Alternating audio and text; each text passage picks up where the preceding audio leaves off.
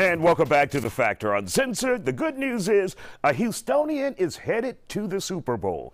Damion Square is a Third Ward native, and the start of this season was anything but smooth for him. After playing for five teams alone this season, the defensive tackle for the Cincinnati Bengals is hoping to earn a ring when he faces off with the LA Rams in a few weeks. Tonight, an exclusive interview with him and how he got there. First of all, Damion, congratulations. Did you ever suspect you'd be headed to the Super Bowl, the big dance? Uh, no, man. Actually, like I thought my football season was over, man. I actually been on five football teams this year, man. I started off the year in Cleveland with the Browns. That didn't quite work out. Didn't finish even finish camp with them. Um, end up going to New Orleans uh, for a few days. The hurricane hit New Orleans, displaced the team, and put them in Dallas.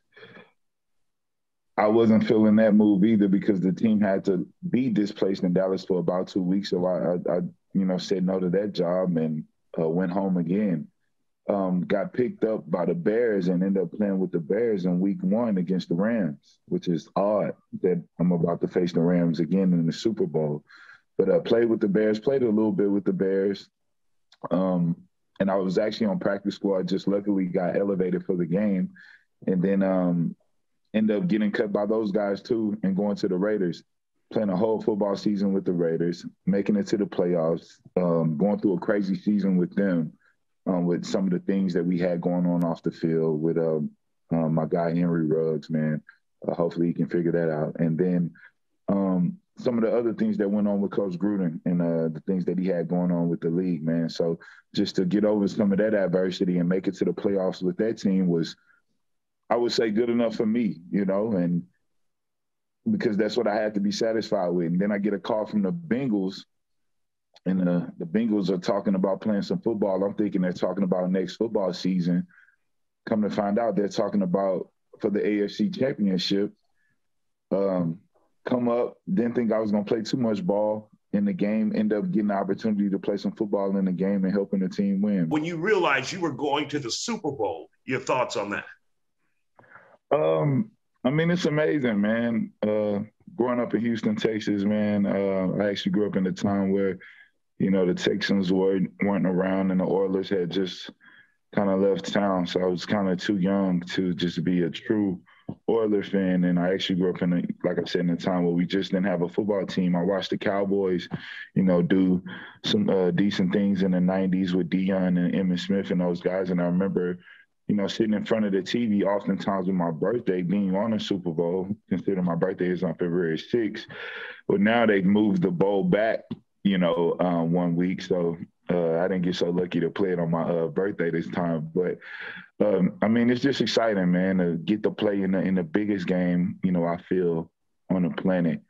You know, it's it's just a it's a showstopper, right? Everybody takes time out of whatever they're doing, man, whatever they got going on, to uh, take a look at that football game. So to know that, you know, playing a game that I've been playing since I was a kid is going to give me an opportunity to do that is is amazing. Also joining us now in The factory is a reporter for Houston Public Media, Siobhan Herndon, also a Houston native who is beyond thrilled to see Damion, her personal friend. They went to grade school together and she made this interview possible. She's excited to see him head to the Super Bowl. We're talking historic. You're historic now, the only player to play for two two teams in the playoffs. I mean, I looked it up. It's it's there. If you if you Google it on Wikipedia, it, it's there. The only sure. player to play for two teams, and not to mention in the game against the Bengals, you you not only play, you played well. You had three tackles. You had a tackle for a loss with with Mixon in the backfield.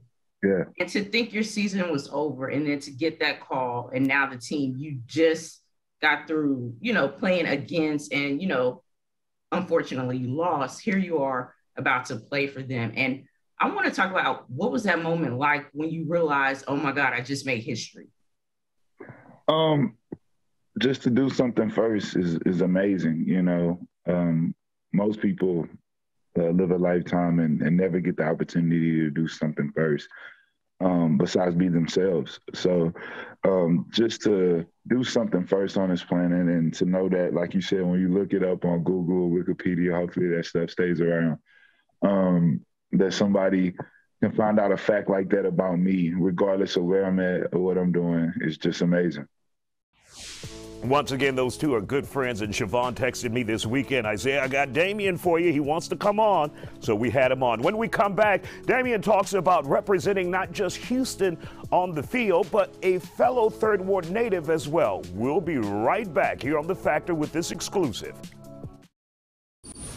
And welcome back to The Factor. We are talking with Houstonian Damion Square tonight, who is headed to the Super Bowl with the Cincinnati Bengals. He's from the third ward and purposely chose to represent another Houstonian on the field, fellow third ward native George Floyd. You talked about George Floyd and you had his name on the back of your helmet. How important was that uh, uh, to, to that gesture to do that for George Floyd and his memory? Uh, that was very important to me, man. Um, I grew up with his nieces and nephews in school.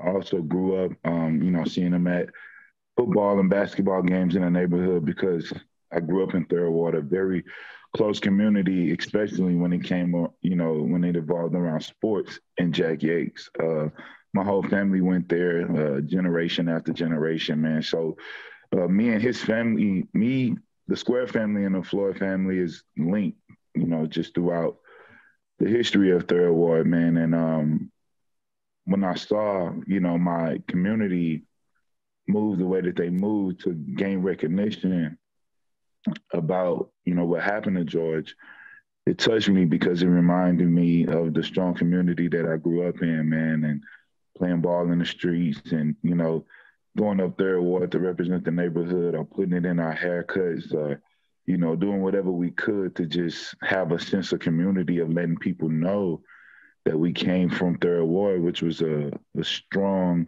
you know black community you know uh, so when i had the opportunity to you know represent george in, in the nfl and they gave me the opportunity to speak um, on his family's behalf after you know what happened to him up in Minnesota, um, I I took the opportunity, you know, and um, the interview was cool, and I'm glad it you know it got out and uh, gained recognition, but more so for George and you know just what happened and just what that moment stood for, and you know where we're at now. And Siobhan, uh, how excited are you for your friend? You made this interview possible here on The Factor Uncensored. How proud of you are you of uh, Damion Square? I mean, I am elated. You know, it, it, started at the BCS National Championship. We're talking to a three-time national champion right now with Alabama. I'm not gonna say roll tide, but this is a three-time national. You, you I'm not gonna say it. I was gonna ask you, are you are you doing the Griddy with the with the rest of your friends over there? With the Bengals, you know, Ja'Marr and Joe Burrow, they like to do the Griddy from LSU. So, is there some friendly rivalry going on between nah, LSU? No no, no Griddy, no Griddy for me, man. No, no, no, no, no. Man, I'm so proud of you. I mean, from the national championship, and then I saw the, uh, you know, I was at the games in uh, San Diego. Then you guys went on to uh, L.A. And so, I mean, from Jack Yates to national championships with the uh, with Bama, and now this. I mean, I mean, your story has been written, man. Your story it, has it, been written. It is crazy, man, and it it continues. You know, um, every time I try to mentally, you know, create some type of plan, you know, things get shaken up, and I gotta, you know, recreate a plan. A plan. So I just begin again every day, man. I just, you know, wake up every day, and you know, as long as I got this body and I'm healthy, and this thing can go out there and get the job done then I'm gonna show up for the job as long as they call. So, like I said, I just thank the the Bengals organization for taking advantage of this opportunity. I didn't even know that this could happen. You know, uh, based on you know COVID rules and just different things that's present in this reality right now that that may not you know, be able to happen again, you know, and they took advantage of it. Uh, obviously, I put some good things on tape. So I pat myself on the back for that. And here's what it is. It is what it is. I'm, I'm telling you, the city is behind you. Third ward is, sure. is, behind you. For sure. That's what I love, man. The city get hyped. And I, I love that the city is just keeping up with your boy, man. It used to mean the world to me to wake up and see my face on the paper and know that everybody could could could view that, man. And I got that same feeling um, having an interview with this guy. One, you know, growing up watching this guy on television, and then you, you know, yeah. growing up in, in in grade school, and also, you know, being able to experience interviewing with you in college. So yeah. it's a it's a beautiful thing, man. I appreciate this for sure. Absolutely. Well, we want to thank you both for joining us on the Factor Uncensored. And once again, Damion, congratulations and good luck at the big dance. Hey, man, thank you. And another quick tidbit Damion says in the offseason, after the Super Bowl, he'll be moving back to Houston, and we'll watch what happens after that.